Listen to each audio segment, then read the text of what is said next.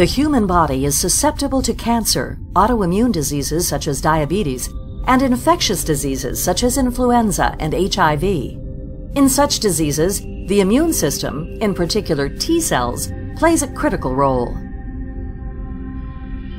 In diabetes, T cells erroneously attack specific cells in the pancreas. In cancer, T cells may provide protection against the spread of a tumor. When the body contracts a virus or develops an abnormal pathology, such as a tumor or diabetes, it's the T cells that recognize the irregularity. Dendritic cells circulate in the blood, ingest irregular and foreign proteins, and present a digested form of these proteins to T cells. Specific T cells recognize the digested proteins and become induced to multiply and to kill other infected or altered cells they encounter.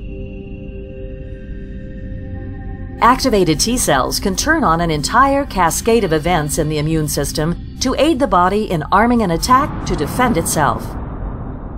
Now, through an exclusive license granted to Beckman Coulter from Stanford University and acquired by Medical and Biological Laboratories, or MBL, a simple MHC tetramer test can be used to quantify specific T cell populations.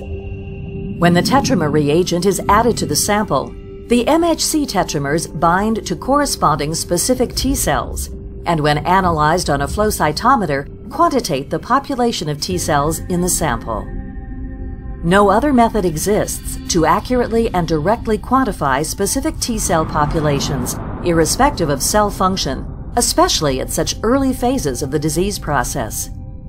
This is important because current strategies for therapeutic interventions involve manipulating the numbers and biologic function of T cells.